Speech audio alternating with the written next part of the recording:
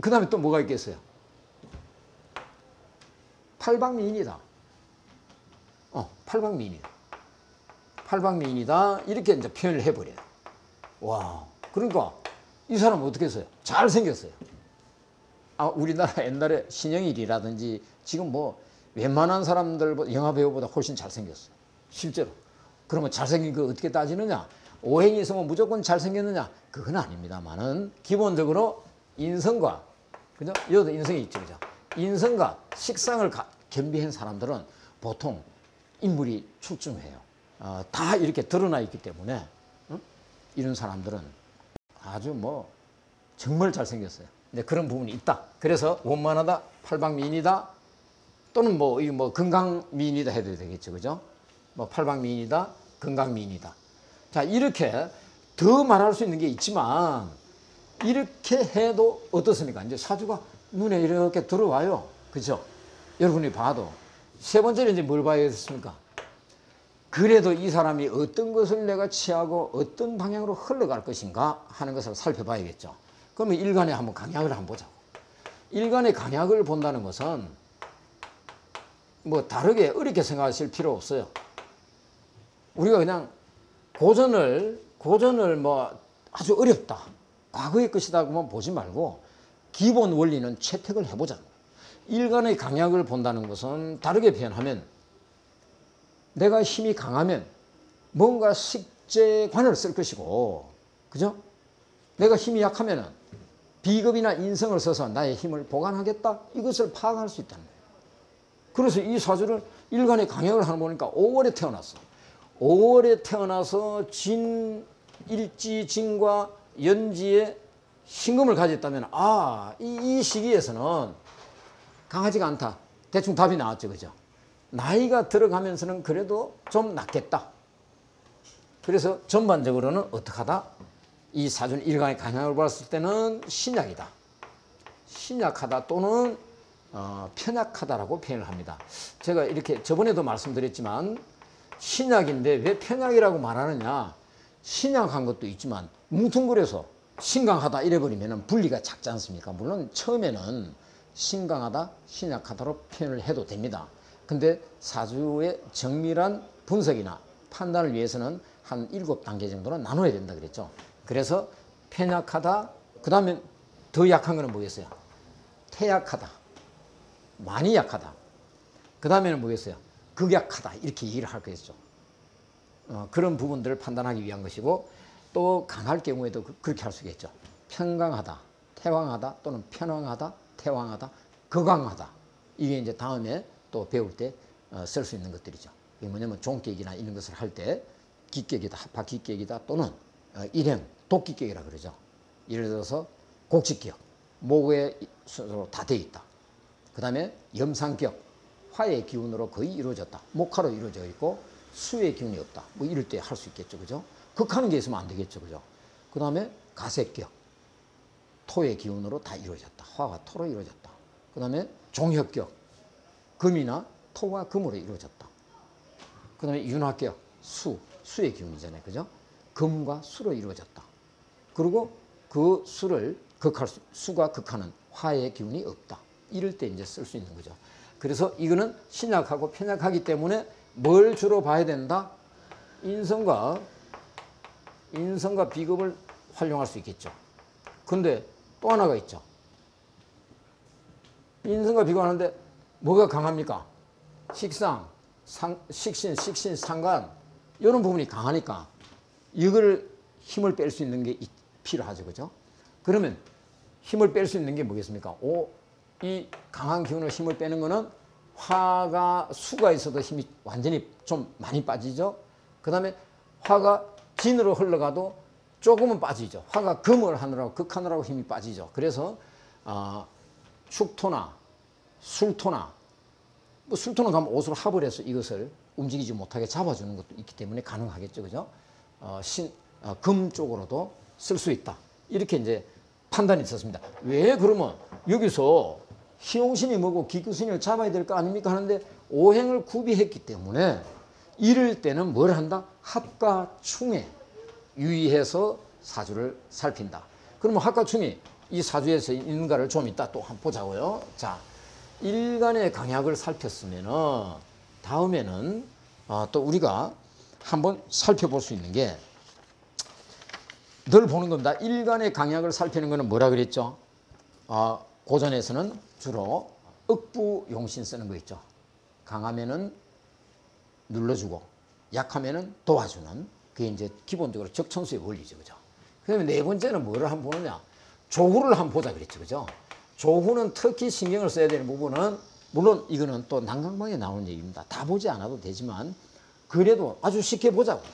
조후를 살필 때는 어, 저번에도 말씀드렸듯이 오하나 미토 4월에는 경금이라는 게 있기 때문에 그래도 좀 덜하지만 물론 그 경우에도 주변에 다른 화가 있으면 당연히 조후를 살펴야 됩니다. 그러나 다른 주변이 없으면 크게 살필 필요는 없겠죠.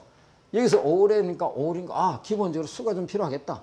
그런데 신금이 있고 진토가 있고 이러다 보니까 크게 조후는 할 수 있는 게 뭐겠습니까? 5월에 병화 식상이 강하니까 화가 강하니까 기본적으로 수를 쓸 수 있겠죠. 그죠? 수도 쓸 수 있고 금도 쓸 수 있겠죠. 그죠? 그 다음에 축토나 뭐 술토도 쓸 수 있겠죠. 그죠? 뭐 이런 것들을 활용할 수 있겠구나. 그런데 마침 수가 여기 딱 떠 있다.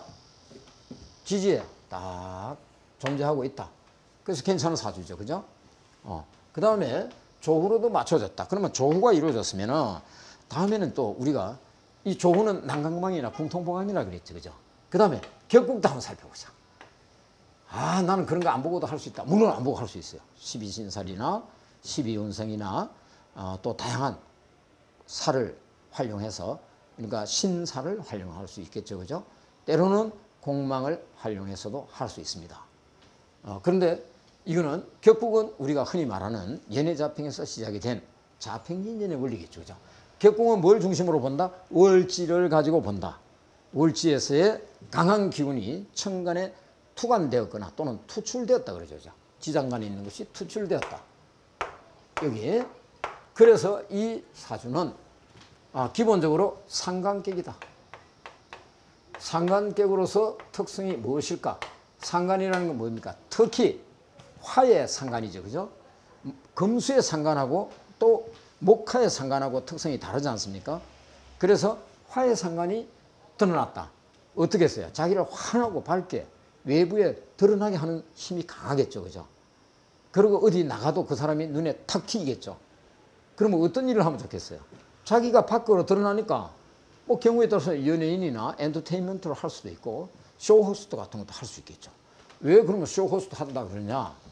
우리가 화의 환하고 밝은 부분을 신체상으로 또는 오장육부의 구성상으로 본다면은 또 얼굴에서 보면 화는 우리의 눈빛이 또 될 수 있겠지만 물론 심장도 되죠. 그죠? 또 한편으로 뭐겠어요? 나의 혀, 혀도 된단 말이에요. 이번에 혀. 혀는 뭐합니까? 말을 하는데 뛰어나죠. 은변이 좋을 수 있겠죠. 근데 그 은변이 어떻게 했다? 남들이 들었을 때 눈에 탁탁 들어 화려하고 아주 화사한 언어를 구사한다. 어, 그래서 인기가 좋을 수 있다. 토를 또 가지고 있다. 토는 우리 입이라고도 표현을 하고 우리 몸에서 얼굴에 뭐 피부 살갗도 얘기하지만 또 때로는 오장육부에서는 뭐죠? 비장이죠. 그죠? 비장이나 저 위장이나 어, 이런 부분들이 되는데 우리 얼굴에서는 또 토로서 자기 입, 입을 통해서 나의 입과 혀를 통해서 잘 표현하는 사람이다. 실제로 그래요. 대단히 달변가입니다. 자, 그래서 격국은 상관격으로서 화의 상관객이다. 그죠? 화의 상관객이라는 의미를 그렇다고 상관객이니까 다 똑같다라고 말을 하면 안 되겠죠. 왜 다 똑같다고 말을 하면 안 되느냐면은 목화 토금수에 각각의 특성이 있기 때문에 그래서 상관객은 어떻다라고 단정하지 마시고 어, 오행의 특성, 음양의 특성을 살려서 상관에 대한 설명을 해주는 것이 필요하다. 그 다음에 어, 이렇게 해서 격구까지도 한번 살펴봤습니다. 그러면은 상관은 또 흔히 뭐죠? 자기를 잘 표출하고 드러낸다 그랬죠. 그죠? 자기 의견을 다른 사람들이 많이 추정도 하겠죠. 왜? 워낙 그 말이 막 맞는 것 같고 다른 사람들 그 어떤 표현하는 것보다 훨씬 논리 정연한 것 같고 본인들이 들었을 때 즐겁잖아요. 화의 기분이 뭡니까? 팽창하고 폭발하고 환하고 밝게 만들고 온 세상에 합리적인 뭐 온 세상에 옳은 소리만 하는 사람처럼 보일 수 있겠죠. 그죠? 자, 그다음에는 이제 이렇게 보다 보니까 거의 사주가 대충 다 나왔습니다. 그죠? 자, 그러면은 그 상황에서 이제 우리가 하나 또 하나 볼 게 있겠죠. 운의 흐름은 어떨까? 아, 운의 흐름을 보기 전에 우리가 합과 충을 한번 보자 그랬죠. 그죠? 아, 합과 충은 아, 저번에도 말씀드렸듯이 합을 해서 좋은 기운을 못 움직이게도 할 수 있고 또 합을 해서 약한 기운을 강한 기운으로 변화시키면서 없어지게 할 수도 있습니다. 특히 합을 할 때도 또 충을 할 때도 충이라는 것도 제가 저번에 무조건 부닥치는 것만이 충이라는 하지 않았죠. 그죠? 이게 빈다. 물에 흘러가서 다 희석돼 버렸다. 힘이 없다. 이런 의미도 됩니다. 물론 이거를 때로는 합과 충을 이래 하는 것은 여덟 글자를 가지고 판단을 할 때 공망 같은 게 있죠. 그죠? 우리가 공망 뭐라 합니까? 비었다 그런 거잖아요. 그죠? 빌 공자거든요. 비어서 망했다. 인연이 깊지 않다 하는데 합과 충이라는 것을 통해서도 이런 부분을 얼마든지 유추할 수 있다. 그리고 오행을 구비했기 때문에 특기 합과 충이 됨으로써 실제로 작용되어야 될 힘이 자기에게 필요한 기운이 묶여버려서 그게 기반이 된다 그러죠. 기반, 얽혀 매인다.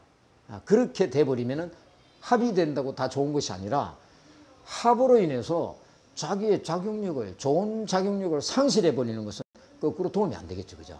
합이라고 다 좋은 게 아니고 충이라 하더라도 다 나쁜 것이 아니다 하는 것은 왜 그러냐면은 나쁜 기운을 내가 딱 부닥쳐 버렸어요. 충을 해 버렸어요. 그러면은 나쁜 기운이 작용력이 어떻게 되겠어요? 약화돼 버렸잖아요. 그렇게 약화돼 버리면은 거꾸로 좋아진다는 아 그런 용어를 좋은 기운을 합을 하면은 탐충 뭐라 그랬죠? 탐합 또 탐충도 될 수 있겠죠. 그죠? 탐한다 합을 탐하는 경우도 있을 것이고 탐합을 했는데 충하고 있는 놈을 나쁜 짓을 하고 있는 것을 합을 하면은 탐합 뭐 망충 충하는 걸 잊어버렸어요.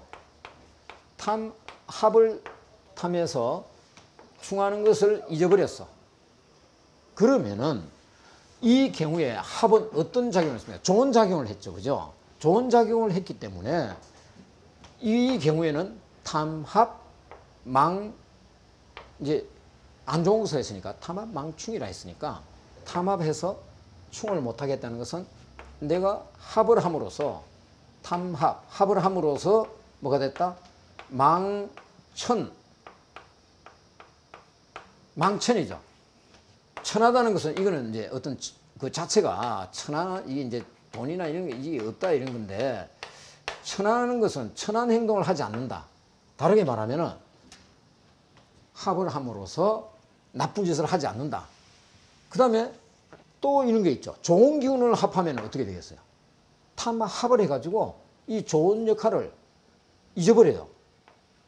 그래서 합이라고 다 좋고 충이라고 다 나쁜 게 아니다 하는 것을 이제 우리가 참고를 해서 이 사주에서는 특히 오행을 다 구비했기 때문에 합과 충을 유심히 살펴봐야겠죠.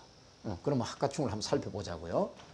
자 여기서 천간에는 합이 없죠. 그죠? 목생하로 식신의 기운이 흘러가고 지지에서는 자진 합이 되었습니다. 아, 이거는 한번 살펴봐야겠죠. 그죠? 근데 격간이 되어 있지만 하나를 지르면 좌우충도 될 수 있는 소진에 있죠. 그죠? 그러나 이럴 때는 이 기운이 왔을 때 충이 된다. 다시 말하면 은 이 대운에서 한번 살펴보자. 그러면 이때는 어떻게 됐어요? 한번 충이 될 수 있겠죠. 그런데 이 사주는 유통이 된다고 통관이 된다 했기 때문에 충하기 전에 합을 합니다. 그래서 이게 또 충이 안 돼요. 그래서 이 사주는 기본적으로 무난하고 원만하게 산다고 표현을 한 것이고 그 다음에 이 합이 되는 시기 또 하나를 한번 살펴보자고 자 그러면 합이 되는 시기를 한번 찾아보자 이대운에 한번 보자고요 요 이대운에 한번 보면은 이게 들어가면 어디로 갑니까 아 신자진 수국을 이룹니다 그죠 신자진 수국을 이루니까 이거는 수는 뭡니까? 신자진 인성수국이 되는 거죠. 그죠? 이때도 한번 넣어보자. 인성수국이다. 수방합국이라고 되겠죠. 그죠? 수방합국이다. 자, 그러면 인성 수방합국은 이 사람의 사주에서 특히 필요한 기운이죠. 약간 약하다. 사주 자체가 좀 약하다고 했, 했으니까. 그러면은 이 시기에 이 사람은 어땠을까? 신자진 합은 다르게 보면은 이것은 이 재성이죠. 그죠? 재성과 이는 뭐죠? 재성 중에서도 이거는 정인이죠. 인성이죠. 이거는 뭡니까? 관성이죠. 편관이 될 수 있는데 관성이다. 근데 이게 합을 하면서 편관의 작용을 하지 않고 각각의 작용을 다 할 수 있는 상이 돼서 자기를 도와주잖아요. 이 시기에 이 사람의 삶의 전성기다.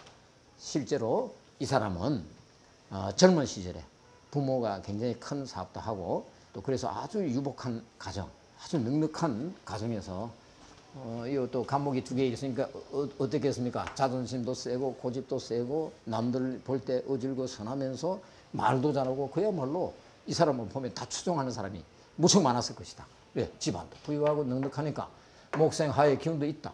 그러면 뭐를 합니까? 또, 어, 뭐, 이게 목국 토도 있다. 자세.